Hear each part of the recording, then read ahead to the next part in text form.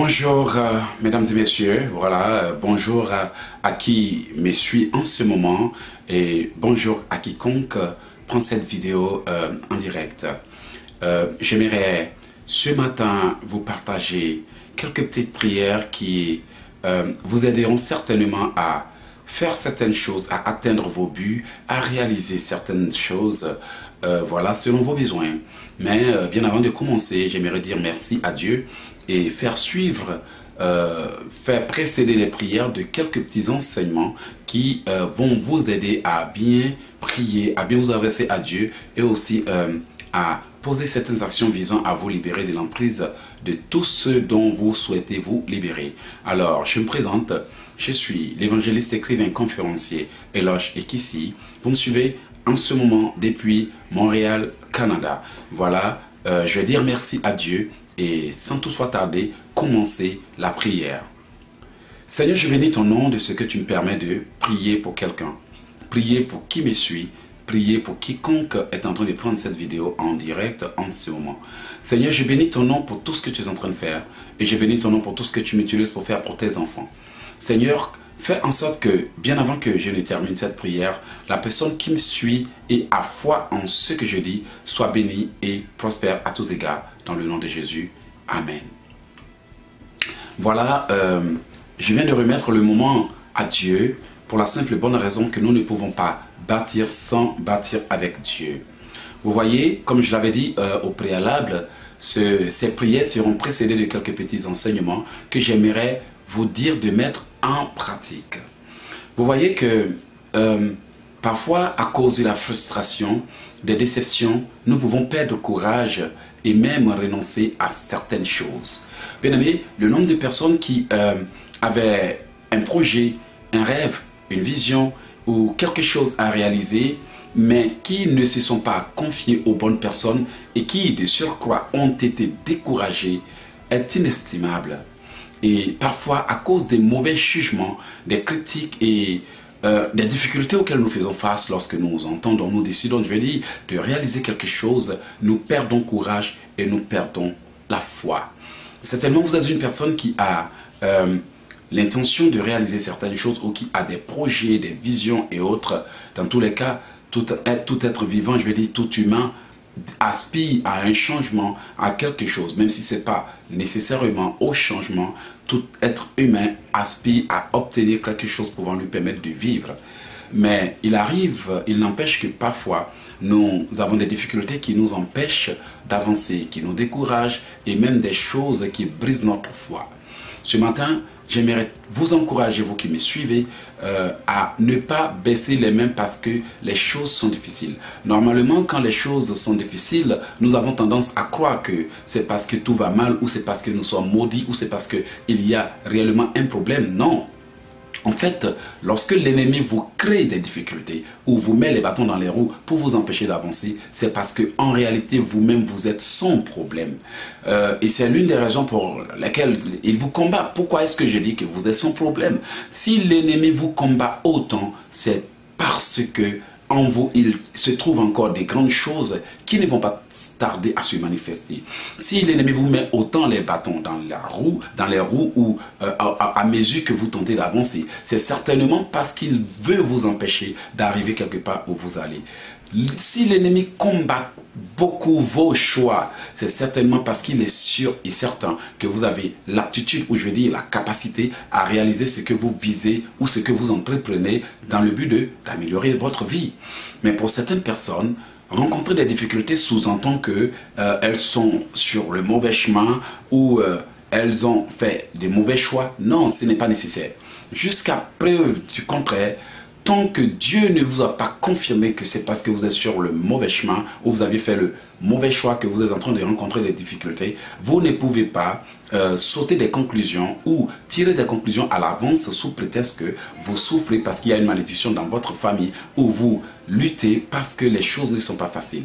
Mais ce que je tiens à vous dire avant qu'on en vienne aux prières, c'est de vous faire comprendre que si l'ennemi vous combat autant, c'est tout simplement parce qu'il est sûr et certain que vous allez atteindre vos buts. Donc la bonne nouvelle ce matin, c'est pour juste vous dire que derrière chaque difficulté que vous rencontrez, il y a certainement une réalisation qui vous attend. Derrière chaque obstacle que l'on vous met sur le chemin, il y a un but qu'on ne veut pas vous laisser atteindre. Et derrière chaque rêve que vous vous battez pour réaliser et euh, auquel des batailles s'acharnent ou des combats euh, sont confrontés, il y a une réalisation que l'ennemi n'aimerait pas que vous atteigniez. Alors, ne voyez pas vos problèmes comme étant des obstacles, des difficultés et autres. Hein? Voyez derrière chaque obstacle l'opportunité de changer votre vie. C'est ce que je suis venu vous donner ce matin comme message. Bien aimé, ma venue au Canada n'a pas été une mince affaire. C'était une bataille que seul Dieu a gagnée. Mais pour y arriver, il m'a fallu persévérer, il m'a fallu persister et même croire alors que tout semblait presque impossible. Et je sais que si vous croyez alors que tout semble presque impossible, ou bien euh, tout à croire que vous êtes sur le point de perdre, c'est là que le Seigneur interviendra dans votre vie. Car, dit-il dans sa parole, ma puissance se manifeste là où la main de l'homme s'arrête. Donc si vous êtes épuisé, fatigué et même déçu, c'est là que le Seigneur commencera à changer votre vie. Alors, n'abandonnez pas. Donc vous me permettez de faire quelques prières avec vous et tout ce que je vous demande, c'est de répéter les prières ou de dire Amen lorsque je prie pour vous ou lorsque je vous donne un point de prière à partager ensemble avec vous. Donc, voilà, c'est une vidéo, vous n'aurez pas la possibilité de toujours mettre la pause, mais si jamais votre appareil ou votre cellulaire vous permettait de mettre une pause, le procédé consiste à répéter la prière et à faire une pause et à prendre le temps pour bien assimiler la prière avant de progresser. Voilà, sans plus tarder, nous allons commencer. Répétez avec moi, Seigneur, lave-moi de tous mes péchés et nettoie-moi dans le nom de Jésus.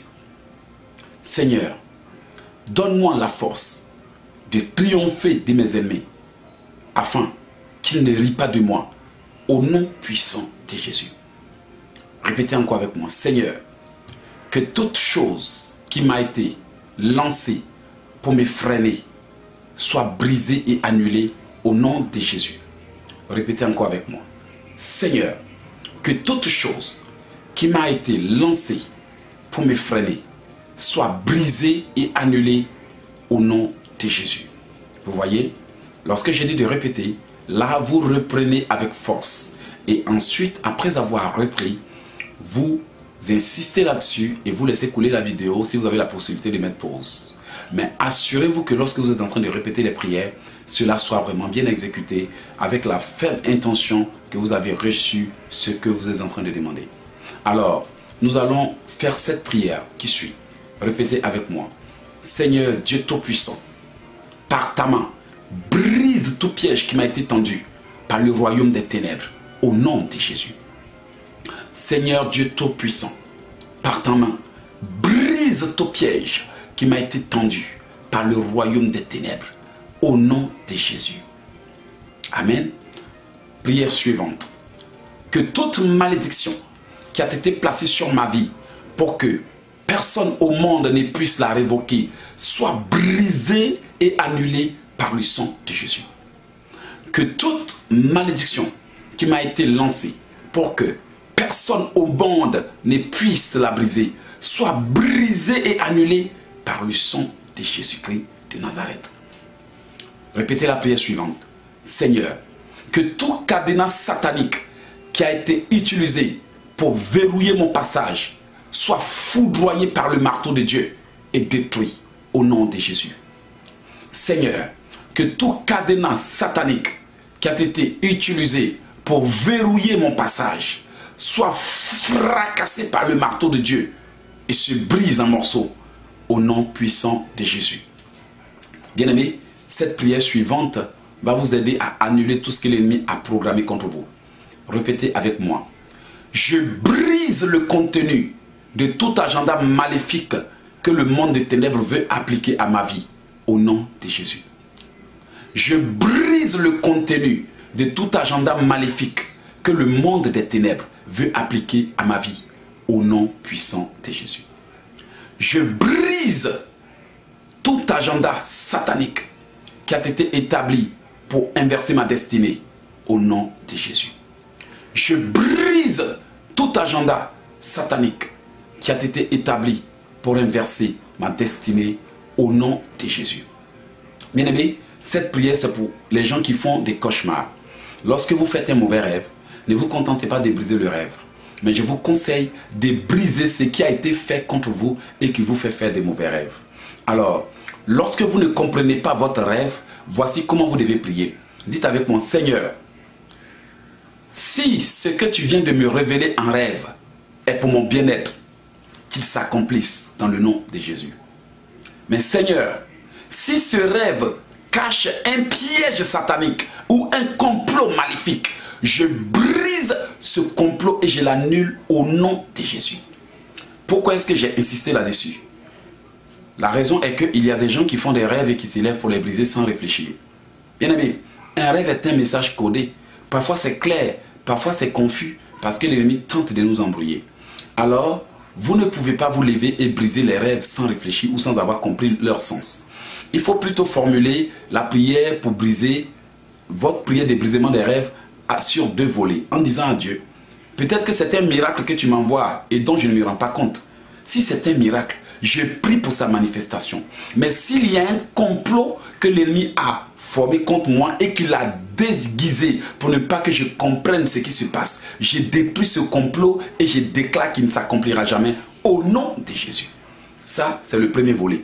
Il consiste à former la prière de sorte que vous ne puissiez pas manquer votre chance et aussi ne pas laisser l'ennemi vous attaquer. Alors, ne brisez plus les rêves sans avoir utilisé cette stratégie que je vous montre. Maintenant, si tout porte à croire, ou bien s'il est clair que votre rêve démontre que vous êtes en danger, voici ce que vous devez dire en priant. Au lieu d'attaquer directement le rêve, attaquez plutôt la source génératrice du rêve, c'est-à-dire la cause du rêve, ou euh, ce qui permet que l'ennemi vous poursuive. Je, vous donne un exemple. Par exemple, vous avez fait un cauchemar où vous êtes en train de manger. Si vous brisez tout rêve où vous êtes en train de manger, c'est un peu bon. Mais si vous brisez ce qui a été fait contre vous et qui a fait en sorte que vous vous voyez en train de manger un rêve, là, vous toucherez la cause du rêve. Le premier euh, point de prière que vous avez donné consiste à attaquer le problème. Mais le deuxième point de prière consiste à aller à la source du problème. Donc moi, je préfère que, au lieu de chercher à dissiper la fumée, vous alliez à la source du feu pour disperser le bois et le feu s'éteindra. C'est en fait ce que je tente de vous faire comprendre. Donc vous allez maintenant prier ainsi lorsque vous faites des mauvais rêves. Dites toujours à Dieu, Seigneur, que tout ce qui a été dit ou que tout ce qui a été fait contre moi qui me fait faire des mauvais rêves soit brisé et annulé au nom de Jésus. Que tout ce qui a été dit ou tout ce qui a été fait contre moi dans le monde des ténèbres et qui me fait faire des mauvais rêves soit brisé et annulé au nom puissant de Jésus-Christ de Nazareth. Vous voyez comment il faut formuler une prière pour venir à bout de vos, euh, je dis, pour annuler ce qui a été fait contre vous ou pour atteindre vos objectifs. Maintenant, si vous voyez quelqu'un venir vous attaquer en rêve, par exemple, un mari des nuits qui vient coucher avec vous. Le but du mari des nuits n'est pas juste de venir prendre plaisir de votre corps, mais c'est de venir déposer des déchets spirituels sur vous qui vont faire que lorsque votre temps d'être béni arrivera, Dieu ne puisse pas vous approcher parce que spirituellement vous êtes souillé, ou bien c'est pour venir vous retirer la puissance. La puissance pourquoi? La force pourquoi? Le potentiel pourquoi? Parce que l'ennemi ne vient à, appliquer ces, pratiques occultes sur nous que lorsque nous sommes sur le point de faire une percée. Donc, non seulement lorsque vous êtes en train de prier contre les œuvres démoniaques ou les rapports intimes en rêve, vous devez détruire la source de ces rapports intimes et les anéantir, mais aussi ordonner la manifestation de la bénédiction pour laquelle l'ennemi est venu faire ça. Parce que parfois l'ennemi ne vous combat que, ne nous combat que lorsque nous sommes sur le point d'atteindre un but. Donc quand vous l'avez combattu et détruit ses œuvres, ordonnez la manifestation du but, parce qu'il n'y a jamais rien sans cause. Voilà comment vous devez prier. Seigneur, que ton pouvoir qui vient avoir des rapports avec moi soit foudroyé par le tonnerre et enchaîné au nom de Jésus. Seigneur, que tout pouvoir qui vient avoir des rapports intimes avec moi en rêve soit foudroyé et enchaîné pour toujours au nom de Jésus. Maintenant, vous pouvez aussi formuler la prière de plusieurs façons, mais euh, de, la façon dont je suis en train de vous montrer en particulier. Dites avec mon Seigneur que tout ce que l'ennemi est venu déposer sur mon corps pour que je sois rejeté ou je sois accusé, soit détruit et annulé au nom de Jésus que tout ce que l'ennemi a déposé sur mon corps, pourquoi je sois, pour que, excusez-moi, pour que je sois rejeté ou refusé, soit brisé et annulé au nom de Jésus. Maintenant, après avoir formulé la prière de cette façon, vous dites à Dieu que toute chose que je suis sur le point de recevoir, pour laquelle la sorcellerie est en train de me combattre, se manifeste immédiatement au nom de Jésus. Vous voyez, la première prière consiste à détruire les œuvres de l'ennemi qui a vu que vous serez béni. Et la deuxième prière consiste à protéger la bénédiction et ordonner sa manifestation. Pour la simple et bonne raison qu'il y a des gens qui sont remplis de dons et de potentiels qui ne se manifestent pas. Apprenez à prier pour que le Seigneur active les bénédictions qui sont en vous. Bien aimé, peut-être que vous ne le croyez pas, il n'y a pas un seul homme de Dieu capable de bénir un enfant de Dieu. Les enfants de Dieu sont déjà bénis. Dieu a déjà conçu l'homme et l'a béni. L'homme de Dieu ne vient qu'avec son onction pour libérer ce qui est en toi. C'est comme Jésus-Christ, pour délivrer quelqu'un, il ne va pas aller dire je te donne la santé, mais il enlève plutôt le démon qui empêchait la personne d'être en bonne santé. Et une fois que le démon part, la personne retrouve sa santé. Ce qui veut dire que Dieu a déjà conçu l'homme pour prospérer. Dieu a déjà conçu l'homme pour progresser. Les hommes de Dieu ne sont là que pour vous aider à vous libérer de vos emprises. Vous comprenez? Pourquoi? Le diable envoie des malédictions des esprits qui viennent pour paralyser votre potentiel. Et tant que ces esprits sont là, vous ne pouvez pas réaliser votre potentiel, votre but. C'est pour ça que l'ennemi envoie des malédictions, pour couvrir la grâce de Dieu sur votre vie, pour détruire votre potentiel, pour vous pousser à prendre des mauvaises décisions. Sans quoi la bénédiction que vous recherchez est déjà en vous. Peut-être que certaines personnes ne voient pas la chose telle que je vois, mais quand Dieu a créé l'homme, il a béni l'être humain et il a dit soyez féconds, soyez prospères. Même la Bible nous le dit en trois gens, en disant en ces termes Bien-aimé, je souhaite que tu sois prospère à tous égards, que tu sois en bonne santé comme prospère l'état de, ton âme. Même Jérémie 29, verset 11 à 12 nous le dit. Euh, bien-aimé, car je connais les projets que j'ai formés pour vous, projets de paix et non des malheurs, afin de vous donner un avenir et de l'espérance. Ce qui veut dire que Dieu a déjà forgé pour nous des projets de paix et non des malheurs. Les seules choses qui nous empêchent euh, d'entrer en possession de notre miracle, c'est que le diable nous combat chaque fois que nous sommes sur le point d'être bénis. C'est pour ça que moi je suis là. Euh, il y a bien d'autres personnes qui le font aussi, mais moi je suis là pour vous apprendre à prier afin de vous détacher de ce que l'ennemi est en train de faire pour vous freiner. Je prie maintenant que vous qui êtes en train de me suivre aujourd'hui, que Dieu libère votre potentiel au nom de Jésus que toute chose en vous que l'ennemi a étouffé pour vous retarder soit libérée et se manifeste au nom de Jésus. Peu, importe l'endroit où l'ennemi est allé vous attacher, je vous détache au nom de Jésus. Peu importe l'endroit où l'ennemi est allé vous encager, je vous libère au nom de Jésus. Je brise toute chaîne sur votre vie. Je brise toute malédiction sur votre vie. Je brise toute œuvre de la sorcellerie sur votre vie. Et j'annule tous les décrets qui ont été signés contre vous depuis le monde des ténèbres, pour toujours, au nom de Jésus. Je vous couvre avec le sang de Jésus. Je me couvre aussi avec le sang de Jésus. Quiconque m'attaque après cette prière soit foudroyé par le tonnerre dans le nom de Jésus. Quiconque va vous attaquer après cette prière soit foudroyé au nom de Jésus. Quiconque tombera sur cette vidéo et essaiera de faire des incantations parce que je vous ai enseigné soit enchaîné et jeté dans une force dans le nom de Jésus. Que la main de Dieu brise tout ennemi de mon ministère et quiconque s'élèvera contre vous et ce pour toujours. Dans le nom puissant de Jésus. Amen. Bien aimé, voilà, c'est le frère Eloge ici. Je me suis fixé pour mission d'aider les enfants de Dieu. Je me suis fixé pour objectif de vous aider. Alors, pour mieux vous aider, c'est bien que je vous enseigne, mais j'ai décidé aussi de mettre des ouvrages sur, sur place pour vous aider à bien prier. Comme je le dis toujours, mon objectif c'est de vous édifier, de vous enseigner et de vous rendre indépendant. Je ne veux pas être le genre de pasteur qui euh, semble avoir toutes les connaissances, qui semble avoir tout pour délivrer les enfants de Dieu. Non, mon but, c'est de rendre les enfants de Dieu indépendants. Parce que la Bible déclare que si Christ vous a franchi, vous serez réellement libre. Donc, il n'est plus question qu'un enfant de Dieu dépende d'un homme. Non, la Bible déclare malheur à ceux qui se confient en l'homme, qui, mettent leur confiance en l'homme. Mon but, c'est que nous devions aller vous chercher où que vous soyez et vous apprendre comment servir votre Dieu. C'est l'une des raisons pour lesquelles je vous conseille de, partager cette vidéo pour aider quelqu'un. Ça va non seulement m'aider à faire passer mon message, mais aussi ça va aider quelqu'un qui peut-être est en train de souffrir à être béni. Imaginez, quand vous êtes une bénédiction pour quelqu'un, Dieu n'a pas le choix que de vous bénir. Nous disons toujours que l'Éternel eut restauré Job dans son premier état quand Job eut prié pour ses amis et l'Éternel lui accorda le double de ce qu'il avait possédé. Regardez, Job a été restauré et il a possédé le double de son miracle quand il a prié une fois seulement pour ses amis. Job a prié pour ses amis et Dieu l'a béni doublement. Donc, toi déjà tu es béni. Mais en priant par exemple pour moi et en priant pour tes amis, ou bien en souhaitant le bonheur de tes amis, qu'est-ce que Dieu fait? Il te bénit doublement. La Bible déclare dans le des psaumes, heureux celui qui s'intéresse aux pauvres au jour du malheur, l'Éternel l'en délivre. Qu'est-ce que la Bible nous dit celui qui cherche le bien s'attire la faveur. Donc, alors que tu es en train de partager cette vidéo pour aider une maman, pour aider un frère, pour aider quelqu'un qui souffre, que Dieu te bénisse et te rende ça au centuple au nom de Jésus.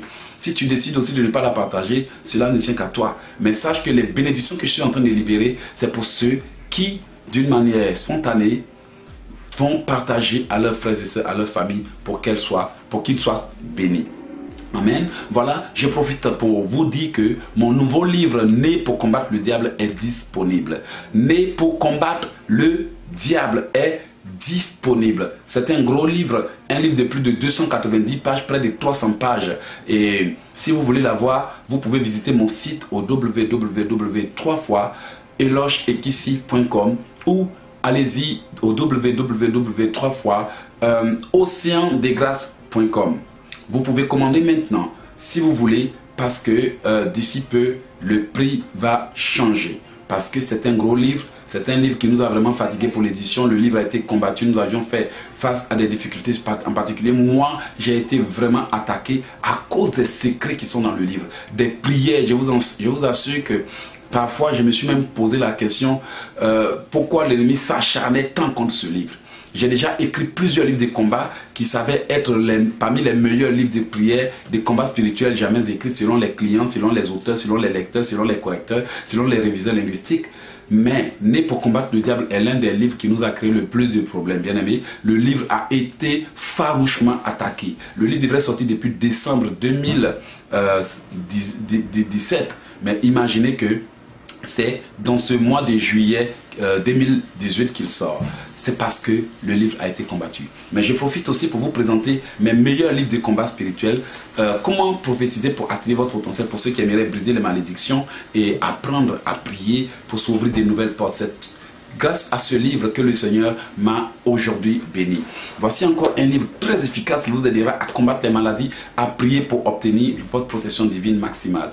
Comment prier pour obtenir une protection divine maximale C'est l'un de nos meilleurs livres de combat spirituel. Ces deux livres-là ont été vendus presque partout dans le monde et vous savez que je n'ai plus besoin de les présenter à cause des nombreux témoignages que nous recevons, à cause des, des, des, les livres ont été vendus en Afrique, en Europe, en Asie, dans plein de pays, euh, même en Amérique. Je n'ai pas besoin d'en faire trop de commentaires.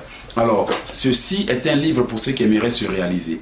Bien aimé, ce livre vous aidera à réaliser vos projets, à reprendre courage, à vous rendre imbattable. Comme vous pouvez le voir, un homme assis sur une montagne avec le bras levé, le signe de la victoire. Tous ces livres sont les résultats de mes recherches, des révélations que le Seigneur m'a données. Beaucoup s'étonnent et disent, mais éloge, pourquoi tu n'es pas allé loin à l'école, mais tu as réussi à réaliser toutes ces choses? Beaucoup se demandent, mais comment il fait? Comment il fait? Bien aimé, j'ai décidé, avec l'aide de Dieu, de mettre tous ces secrets dans un livre. Voici pourquoi vous allez voir que tous ceux qui utilisent mes livres sont transformés et tous ceux qui prient avec mes livres sont restaurés. Aujourd'hui, je suis venu juste pour vous dire que le livre Né pour combattre le diable est disponible. Euh, comment prophétiser pour activer votre potentiel, euh, comment prier pour obtenir une potentiel de vie maximale? Et comment activer le pouvoir de l'automotivation? tous ces livres sont disponibles et il y a du monde qui, euh, qui, qui, a, eu ce livre. Alors, c'est à votre tour. N'hésitez pas. Bien aimé, le temps passe, votre âge avance. Il est temps de prier pour atteindre vos objectifs. C'était l'évangéliste écrivain conférencier logique ici. Je passe toujours en direct les mercredis, vendredis et dimanche. Alors, mercredi, vendredi et dimanche. Mercredi et vendredi, je passe en direct entre 13h et 15h, heure du Canada. Toujours entre 13h et 15h, heure du Canada. Mercredi et jeudi. Abonnez-vous, allez-y sur ma page YouTube, abonnez-vous et cliquez sur la cloche pour que vous soyez avertis de toutes mes prédications, de tous mes passages en direct. Euh, aussi, euh, vous pouvez me rejoindre sur Facebook et vous abonner ou sur Periscope. Tout au plus, allez-y sur mon site internet et prenez les renseignements qu'il vous faut. Voilà, bien aimé, j'ai déjà tout dit. Je passe en direct, j'enseigne et je donne des prières. Mon numéro de téléphone pour recevoir des prières audio sur WhatsApp, c'est le 001 438 995 4109. Je répète plus lentement.